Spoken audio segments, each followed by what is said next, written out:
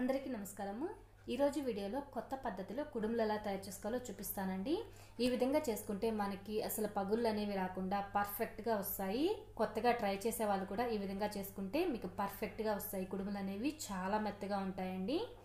ఈ పద్ధతిలో మీరు ఒకసారి ట్రై చేసి చూడండి. చాలా చాలా టేస్టీగా కూడా ఉంటాయి. నార్మల్గా బియ్యం పిండితో చేసుకునే కుడుములు అయితే కొంచెం రెండు రోజుల తర్వాత గట్టిగా రావడం లేదా ఒక రోజు తర్వాత గట్టిగా రావడం ఉంటాయి కదా. ఇవి రెండు రోజులైనా కూడా గట్టిగా అనేవి మాత్రం ఉండవండి. మెత్తగా ఉంటాయి. చాలా బాగుంటాయి. ముందుగా ఒక కప్పు ఇడ్లీ రైస్ని తీసుకొని రెండు గంటల సేపు నానబెట్టి పెట్టుకోవాలి. మెజర్మెంట్ కప్తో అంటే పెద్ద కప్పు ఉంటుంది కదా ఆ కప్పుతో నేను ఒక కప్పు ఇడ్లీ రైస్ తీసుకున్నానండి. ఇడ్లీ రైస్ ప్లేస్లో మీరు కావాలంటే రేషన్ బియ్యమైనా తీసుకోవచ్చు.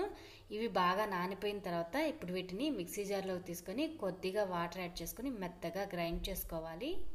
నీళ్ళు అనేది మరీ ఎక్కువ పోసుకోకండి. బెల్లం వేసినప్పుడు మరీ జారుగా అయిపోతుంది. అందుకని కొద్ది కొద్దిగా వేసుకొని గ్రైండ్ చేసుకోండి. ఇక్కడ చూస్తున్నారు కదా మరీ లిక్విడ్గా కాకుండా కొద్దిగా పేస్ట్ లాగా ఉంది. ఈ విధంగా ఉంటే సరిపోతుంది. కొద్దిగా బరకగా అయినా పర్లేదండి మరీ మెత్తగా ఫైన్గా చేయబడలేదు. ఇప్పుడు ఇందులోకి ఒక కప్పు బెల్లం వేసుకొని మరొకసారి గ్రైండ్ చేసుకోవాలి. బెల్లం వేసి గ్రైండ్ చేసుకుంటే ఇలా కొద్దిగా లిక్విడ్గా అవుతుంది. ఇప్పుడు స్టవ్ మీద కడాయి పెట్టుకొని అందులోకి ఒక టీ స్పూన్ నెయ్యి వేసుకొని హీట్ చేసుకోవాలి. ఇప్పుడు ఇందులోకి మనం ముందుగా గ్రైండ్ చేసి పెట్టుకున్న బియ్య పిండి మిక్చర్ని వేసుకోవాలి. ఇందులో కొద్దిగా వాటర్ యాడ్ చేసుకొని మొత్తం బాగా కలిసేలాగా కలుపుకోవాలి. మంటని మీడియం ఫ్లేమ్లో పెట్టుకొని కలుపుకోండి. మరీ ఎక్కువసేపు కలపనవసరం లేదు. ఇది ఉండలు కట్టే ఛాన్స్ కూడా ఉండదండి. ఒకసారి బాగా కలుపుకున్న తర్వాత ఇందులోకి హాఫ్ టీ స్పూన్ ఇలాచీ పౌడర్ పావు కప్పు పచ్చి కొబ్బరి తురుము వేసుకోవాలి. మీరు పచ్చి కొబ్బరి ముక్కలైనా వేసుకోవచ్చు లేదా పచ్చి కొబ్బరి తురుము అయినా వేసుకోవచ్చు.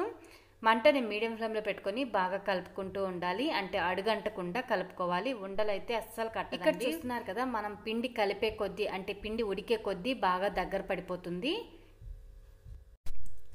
పిండి దగ్గర పడేటప్పుడు కొద్దిగా కలుపుకుంటూ ఉండాలి. అంటే ఆపకుండా అని కాదండి కొద్దిగా మధ్య మధ్యలో కలుపుకుంటూ ఉండాలి. అప్పుడే మనకి అడుగు అనేది మాడకుండా ఉంటుంది. ఇలా పిండి మొత్తం దగ్గరకు పడుతున్నప్పుడు అంటే ముద్దలాగా అవుతున్నప్పుడు మంటని మాత్రం లో ఫ్లేమ్లో పెట్టుకొని కలుపుకుంటూ ఉడికించుకోండి.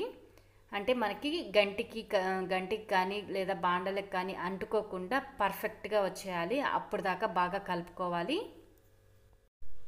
పిండి మొత్తం ముద్దగా అయిపోయింది కదా ఇప్పుడు స్టవ్ ఆఫ్ చేసేసుకొని పూర్తిగా చల్లార్చుకోవాలి. పిండి బాగా చల్లారిపోయినాక చేతులకి కొద్దిగా నెయ్యిని రాసుకొని పిండిని మరొకసారి బాగా కలుపుకోవాలి. మనం కుడుములు పెట్టుకోవడానికి స్టీమ్ చేసుకునే ప్లేట్ కానీ లేదా ఇడ్లీ ప్లేట్ కానీ తీసుకొని కొద్దిగా నెయ్యి రాసుకొని పక్కన పెట్టుకోవాలి. ఇప్పుడు మనము కొద్దిగా పిండిని తీసుకొని కుడుములలాగా లేదా ఉండ్రాలలాగా ఒత్తుకోవాలి. పిండి తీసుకునే కొద్దీ మనము ఒత్తుకునేది అనేది సరిగ్గా ఉండాలండి. అప్పుడే మనకి బాగా లోపలంతా బాగా ఉడుకుతుంది. ఒకటి పెద్దగా ఒకటి చిన్నగా అలా కాకుండా ఒకే సైజులో ఒత్తుకోండి. ఇదే విధంగా అన్ని కుడుములు రెడీ చేసుకున్న తర్వాత ఇప్పుడు స్టవ్ మీద ఇడ్లీ కుక్కర్లో ఒక గ్లాసు నిండా నీళ్ళు పోసుకొని నీళ్ళని బాగా మరిగించుకోవాలి. నీళ్ళు ఇలా బాగా మరిగించుకున్న తర్వాత మనం ముందుగా రెడీ చేసుకున్న కుడుములు పెట్టుకున్న ప్లేట్ని పెట్టుకొని దాని మీద తడి క్లాత్ పరుచుకోవాలి. ఇలా క్లాత్ పరుచుకోవడం వల్ల కుడుముల మీద ఆవిరి నీళ్ళు అనేవి పడకుండా ఉంటాయి. మీ దగ్గర క్లాత్ లేకపోతే అరిటాకైనా పెట్టుకోవచ్చండి. ఇప్పుడు మూత పెట్టుకొని మంటని మీడియం ఫ్లేమ్లో పెట్టుకొని ఇరవై నిమిషాల పాటు ఉడికించుకోవాలి.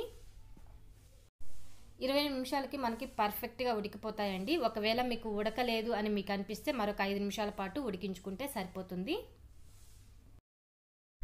నాకు కరెక్ట్గా ఇరవై నిమిషాల్లో ఉడికిపోయాయండి. నేను వేడి మీదే తీసేస్తున్నాను.